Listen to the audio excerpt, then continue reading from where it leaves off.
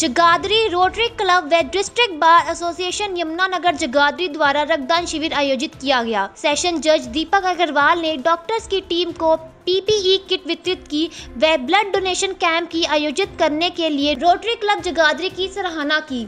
इस दौरान अधिवक्ताओं ने रक्तदान किया।